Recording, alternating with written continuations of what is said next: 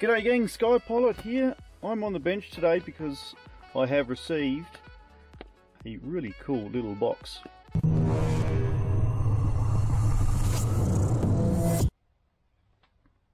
These are from my good friends at Beta FPV. Link down below guys. Let's crack on in. If you hadn't already guessed, that's right, I have some motors here. These are the Beta FPV 2004 3000 kV motors.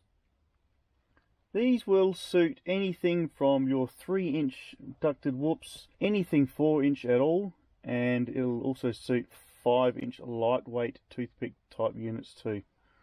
So looking at the motor itself, obviously brushless of course. First thing we'll do is stick one of them on the scales and it returns a figure of 16.62 grams, so fairly lightweight.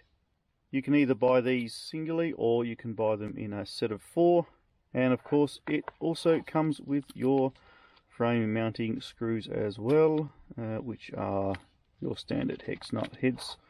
Motor itself, you're looking at a diameter of 250 mil. I will list the specs down below guys if you want to have a quick look for yourself with the 3000 kV uh, you're looking at attaching it to any 4S power supply.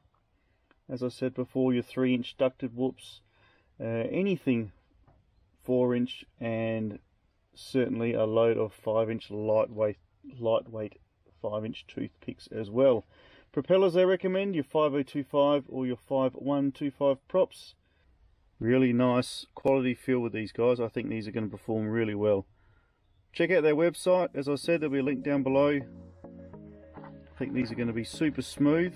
Smash on that bell, guys. Smash on that thumb. Very soon, I'll get the Beta FPV 2004s attached to something so we can have a scoot. Can't wait. Thanks for stopping by. See you real soon in the sky. Or the workbench.